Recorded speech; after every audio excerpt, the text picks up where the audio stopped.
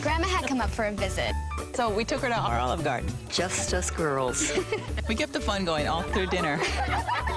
Olive Garden brings you new manicotti formaggio with ricotta parmesan and mozzarella cheeses. Served with either sauteed shrimp in our creamy carbonara sauce or with pan-seared chicken with roasted peppers and homemade parmesan sauce.